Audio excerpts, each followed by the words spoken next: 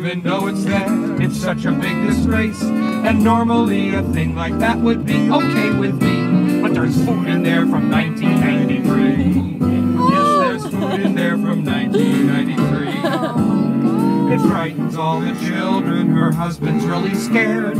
We don't know what to call it. Is she follically impaired? For now, there's hair inside her arms and sticking out of her underwear. She's not like other women, except the ones from France.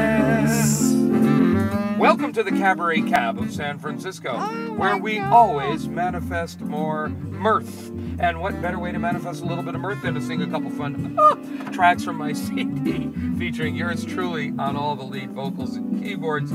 You're listening to track number seven right now, just one of 15 tracks that are silly, witty, and wacky. That's why you get all the fun lyrics in the insert. But we're oh. worried about Aunt Peg because terrible things happen.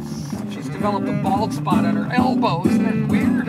Oh, why does my Aunt Peg have a mustache on her face? She doesn't even know it's there. It's such a big disgrace. And normally her face was as smooth and soft as silk. But now we always know when she's had milk. Oh yeah, now we always know when she's had milk. Mm-hmm. My aunt's a freak of nature, my God, she's a mess. And when she tries to kiss me, I vomit on her dress. Seems that her whole body's just covered up with fur. So now she's like Chewbacca, except without the. Well, you know, make your own Chewbacca sound. Why does my Aunt Peg have a mustache on her face? She doesn't even know it's there. It's such a big disgrace. She used to be quite beautiful and lovely to see.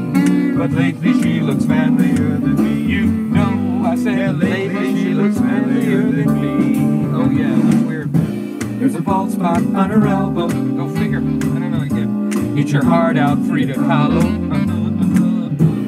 Suit to cover her suit. That's H-I-R-S-U-T. Just a trim, takes plenty of loot. And then for shampoo, uses head and shoulders on her head and shoulders.